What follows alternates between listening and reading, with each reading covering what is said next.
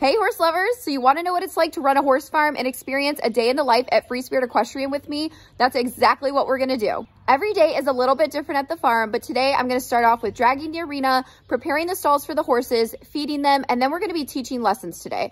So it's really busy. We have a lot of things going on. I'm gonna try to go for a ride later, and I'm just gonna take you along with me and show you the ins and outs of horse care, horsemanship, and part of my equestrian business too. The students are gonna be arriving in about an hour, so we need to get going. Let's start. First, I need some coffee. And also, just really quick, I want to bring this up and there's a reason. I've had a few comments that have said, you have such light skin, you shouldn't wear such bright lipstick, you look like a clown, so on and so forth. And honestly, I don't care.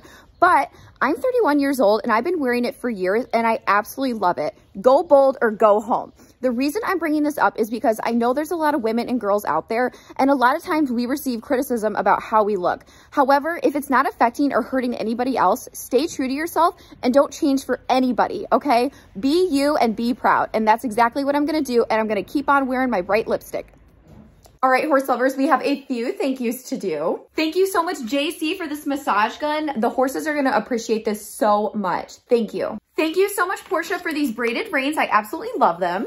Thank you, Denise, for this Daily Gold Gut Supplement. We love this and the horses do so well on it. Thank you. Thank you so much, Anne, for Belle's brand new girth. I'm really excited to try it on her when we get to that point. Thank you. And also thank you, Denise, for this hot pink halter for Belle. I cannot wait to try it on her as well. If you want to support Free Spirit Equestrian, we do not take donations, but you can buy us something off our Amazon wish list, link in the description, and we will do a shout out. Thank you so much, horse lovers. Now we're gonna drag the indoor arena. So last night after lessons, I dragged it and then we treated it with what's called MagFlakes, which is essentially magnesium chloride. Now this helps with dust control and prevention, and I'm gonna tell you a little bit more about it. I'm not being sponsored by them or anything. I love this product and I just wanna tell you more about it because it's worked for me. So you can see the mag flakes are spread out. This one's like a chunk. um, it kind of looks like, you know, salt, uh, but it's magnesium chloride. It's not just salt. And essentially we spread them with a seed spreader around the arena and then you let them sit overnight and then you drag them. So that's what I'm gonna do with the four-wheeler. Okay, now we're gonna drag the arena and get all of these mag flakes worked into the sand. So for sand, I use 2NS sand. That's the best sand for arena footing and it's been really great for me over the past five years.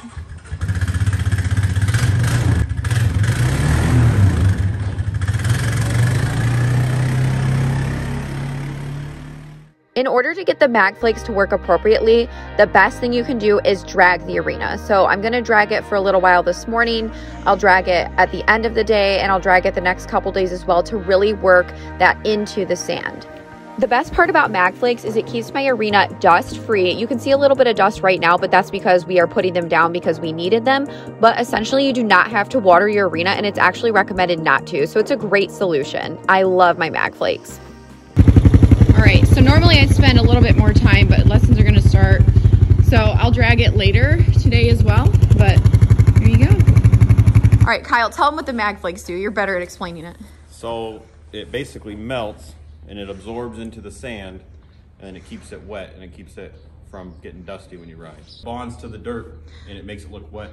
Yeah, exactly. So you don't, it's almost like watering, but it stays wet. Yep. So we're gonna drag this right now. Um, and hopefully that'll help with dust. And honestly, you just have to go through a few bags every six months with this size arena, which is a 50 by 130. Not bad. Poor Miss Bagheera has a bad abscess. I've been treating it, soaking it, wrapping it. I know, baby. So she's on stall rest right now. First, I'm gonna, I know, honey, I'm so sorry. First, I'm gonna switch her out, put her in a clean stall, and then I'll clean her stall later. Um, but yeah, let's get you out and put you in a fresh stall. I'm sorry, baby. I know you just want out. You want your grain. I'm getting it. Okay, I got her stall made up. She's got her hay, salt lick, bedding. Now, I go light on the bedding because otherwise it's not as sanitary. And then fresh water, of course. Abscesses suck, but this is part of having horses. So a lot of times abscesses look really bad. And again, that's why you treat them. And then it just takes, sometimes it takes a couple weeks or more for them to really fully blow out. And that's why I soaked her. I had her wrapped for 48 hours. I just took the wrap off yesterday. and she is getting better even though it looks really bad. And then if it wasn't to improve more in the next week, then I would be having my vet come out. So obviously I always text and message and I'm in contact with my vet. She thinks abscess too, but if for some reason it's not improving, then of course we would then um, go into more diagnostics. But this is how abscesses present themselves sometimes. And I've had this happen, um, you know, with other horses because that's just part of it. It's a common thing.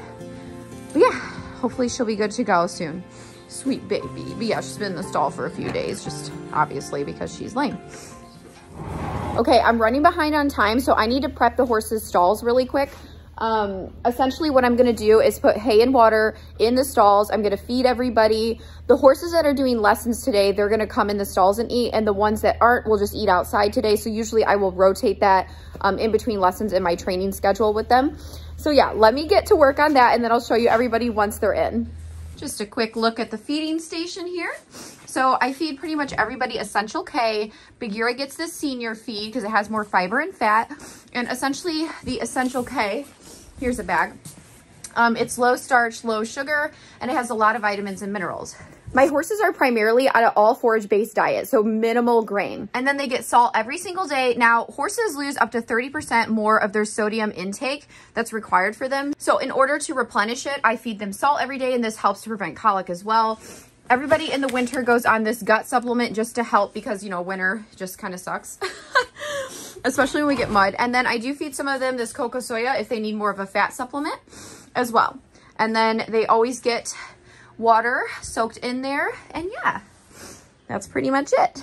Okay, I got all of the stalls prepped. Now we're bringing in the horses so they can eat and drink and then just kind of relax a little bit before lessons start.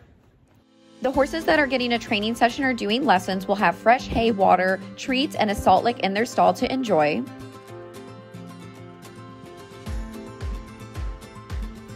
The horses that will be doing lessons today are Mr. Arlo. We have Jiminy Cricket. He's so cute. I love him so much. And then Mr. Olaf, my POA pony. And then we have Mr. Jafar that will be participating today as well. And Gaston, he's in the stall on the other side though. So yeah, that's who's gonna be doing lessons today. Lessons always start off with grooming and tacking up the horse. We'll also do some body work and massage techniques. I think it's really important to teach students horsemanship and horse husbandry and not just riding. We also do a lot of groundwork in the program as well, but we always start with grooming and tacking. I also have Mr. Buzz Lightyear doing some tie training in the back to teach him some patience and get him used to the other horses in the arena. Also, a little fun fact these twists that you see in the mane are called fairy knots. So, essentially, the legend has it that fairies at night would come and look for the horses that were the kindest and the best to ride, and they would twist their mane to make knots and stirrups so that they could ride the horses all throughout the night. So, only good horses will have fairy knots in their mane. Isn't that fun? Just kiss a little bit, sitting back. Nice job. Okay, try neck reining. And you wanna sit back a little bit more.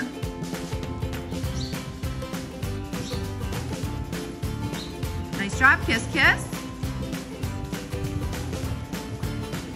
Very good, getting those corners inside leg in the corners there. Nice job. Currently, I have around 40 students in my program and we teach lessons three days a week. We do a variety of different disciplines. We do Western, English, jumping, we'll do patterns, trail rides, we go to local shows, we go on camping trips. I'm all about making riders well rounded and also teaching them horsemanship and training methods as well. So today was a little bit more chill. We did a little bit of Western, some cone work, transitions. All the horses only do lessons again two or three days a week. They get several days off. And then, of course, I'm schooling and training and riding them as well. And typically on lesson days, the horses will do one to three lessons total. So it usually amounts to about an hour or two of riding time. And again, they get their days off, and then I'm schooling them as well. Plus, we have groundwork lessons too. I believe in keeping horses active, but also giving them breaks. Here you see one of my students cantering for the second time ever. I think she's doing fantastic. In between lessons, the horses get hay and water. They also have hay bags while they're being groomed and tacked up. so they get a chance to eat and drink and take a break. You saw Jafar there and then Mr. Gaston. Gaston gets pretty sweaty because it gets really warm during the day, almost up to 50, but it's really cold at night, so they still have their winter coats. I also will put coolers on them at the end of the day to help them cool off and relax before turning them back out to be with all of their friends. We teach all different levels of riders, and I really enjoy the fact that we have a variety of breeds so that everybody can learn to ride different horses, which I think makes you a stronger rider in the end. I really enjoy having a lesson program and also training horses as well. It's a really nice balance. Yeah, so it's been hours since I've been out here this morning, just taking care of the horses and teaching. And I'm just happy I get a little bit of time to myself now to ride and train. Okay, since I'm gonna go in and change, let's actually go hang out with Belle for a little bit. And then I think what I'm gonna end up doing is hang out with her, go in, switch into my riding clothes, go for a ride on Prince Charming, work with the horses, and then I'll finish up and do barn chores, like finish sweeping here when I'm done. But for now, everything's taken care of. Troughs are filled, horses are fed, everyone's happy. So let's go see Miss Belle of the Ball. Ooh, I'm gonna get her some horse treats too. Let's see if she likes treats. Okay, so we're gonna try these, which you guys got me, and also the peppermint nuggets too. Let's see what she thinks. Hey, Belle. Hi. How are you? Are you happy? You're so gorgeous, honey. Hi. I know. What? Got lots of hay. Good girl? You good girl? So sweet. You're so pretty. I got a treat for you. See if you eat it. Okay. You don't know about treats? You'll like them, I promise. Look.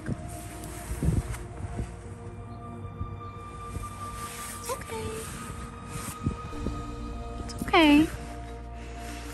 How about this one? Good girl. See, it's yummy. It's yummy. What do you think of that? You're shedding, girl. That means spring's coming. Good girl. Hi, honey. Want another one? Another treat for you?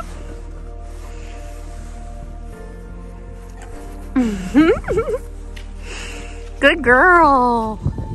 I gotta get those auction stickers off of her, but I'm gonna wait until I have her tied. I don't, you don't want to freak her out.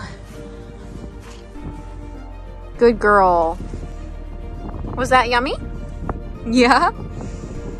Can't believe you haven't really had a treat.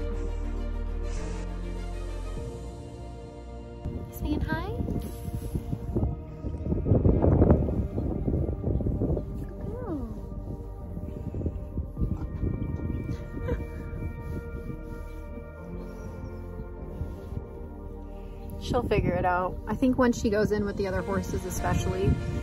Right now I feel bad, but she has to be over here. Quarantine won't be long, much longer. We'll bust you out of here. Look what I ended up getting off! The auction stickers. And I'm taking out her braids. So we're just having a really nice moment just hanging out and taking her braids out. She's standing so perfectly still. She's checking in with me. So I'm gonna continue to take them out and I'll show you when they're done. She's being so sweet. I got most of Belle's braids out. She stood so nicely and calm. It was honestly just such a bonding moment because she had quite a few braids in. Um, I'm going to leave the top three braids because she kind of wanted to walk away and I'm going to respect that. But I think she's just like, I want to eat hay. And her taking the treats was so precious. Like, you love them, didn't you? You're such a sweet girl. Oh my gosh, I'm so excited to start working with her. But I do think it's going to take time for her to settle in. This is a completely different environment than what she's used to. She came from the Amish. Obviously, it's going to be just totally different um, with riding. And then as people were saying, like I'm talking into a phone, I'm a completely different type of person. But I think she'll be really happy when she figures out that she's very loved. Yes, you know you're loved. And I think she knows that we're good people and safe, but I think we also need to earn that with her a little bit, which is why, you know, I started taking out the braids and then I'm going to leave the other three braids in. I almost kind of see taking out the braids as like a trusting process and we got this far and now that's how far we got today and I'm just going to leave it there and then I'll take the rest out when she feels comfortable and she was I think she's definitely starting to relax more. you are funny. I love you. She's so special. Like I'm gonna, I'm, I just know when I start riding her, when it gets to that point, I'm just gonna feel so proud and magnificent because she's just such a gorgeous girl. yeah, I'm just gonna leave those braids. Maybe I'll see in a second if she'll let me tend to them. Um, but if not, then I'll get them next time. Okay, I got all the braids out. Look at her. She's so happy and chill. And honestly, just like when I was undoing her braids and just right now, like when I was finishing those last three, I'm going to leave her forelock one and I'll, I will get that one like when she's out of quarantine. She just like, I felt like she just is trusting me more and she's so at peace. Like, look at her. She's so cute. Can I touch your face? Oh, sweet girl. And I just was talking to her. I was just telling her, you know, how happy we are that she's here. I told her that I'm sorry that you had to leave your previous home. And I know that that probably feels like a little bit of abandonment. Um, not that that's what they were doing because I sell horses too, but just from her perspective. And I was just letting her know that it's okay to be sad. It's okay to be nervous and that I'm here for her and that I want to give her support and that I'm going to be her friend and we're a team. So when I was doing that, she just was like listening, turning her head towards me like in a sweet way. And like, look at her. Oh my God, I just love you. Can I clean this eye? Sorry, that was bothering me. Yeah, got the braids out, yay! So that's my mini Belle update. Um, I gotta get my butt inside, take a shower, change, and then let's ride and train. See what I can get through. I'm pretty tired, but I still wanna go for a ride.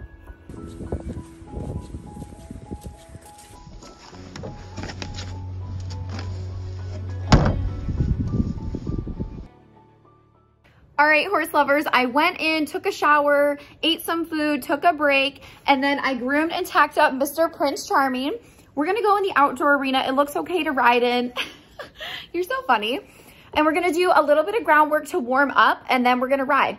So he's had about a week and a half off because he threw a shoe, and then I was out of town going to the auctions and all of that. So yeah, that's why we're just gonna do a little bit of groundwork, warm up, and just have like a fun ride. Let's go.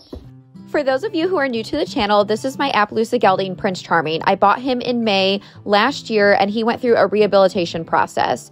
So he still has arthritis. Obviously, that's never going to go away.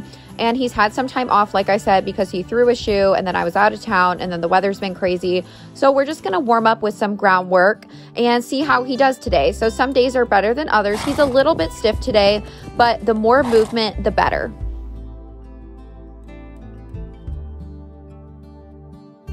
I just got on Mr. Prince Charming, and of course, we're gonna warm up first. So his injury was in his hind, and then he has some arthritis in the front. So we warm up with some ground pulls to get some lift and a little bit of impulsion, and that's gonna help him loosen up. Now, when it's a cold, windy day and he's had some time off, he's a little bit stiffer. He does really well with consistency, which I have been consistent, but of course, things come up, and then he lost a shoe because it's been so muddy. So he had to have a little bit of time off till the farrier could come out to put it back on. So today, he's doing really good. He's super sweet and kind. He's very calm, but I do notice that he's a little bit stiff. So we're just going to have a little bit of a longer warm up and I'm just going to show you a couple clips, a little bit of trotting, and we're going to do a little bit of canter work as well, but we're going to keep it light today. And that was pretty much it. I just wanted to show you some snapshots of him, give you an update. I do plan on doing some injections. I think that's going to help him. I did try the Adequan injections and I didn't really like them. So I think I'm going to go with an actual injection in his front right. And I think that will definitely help him. He's still doing really well. And like I said, some days he moves perfectly, other days a little more stiff. And this is just how it is with arthritic horses. Unfortunately, some days are better than others, but we are working very closely with my vet and he is okay to be ridden. She said actually the more movement is better, but just keeping an eye on it. Now I'm to end the day finishing up some barn chores, sweeping the aisle, and just making sure that everything is all set for the evening. And then I'll be able to go and relax for a little while. The broom handle just broke off my broom. Thankfully, I got a new broom from Lisa off the Amazon wish list, but now I have to use this little one for now. it always happens like that, especially at the end of the day. All right, horse lovers, I really hope that you enjoyed spending the day with me. It's been long, about, I'd say 10 hours. So make sure you like, comment, share, subscribe to the channel, turn on the notifications so you don't miss anything Free Spirit Equestrian, and I'll see you next time, horse lovers. Bye!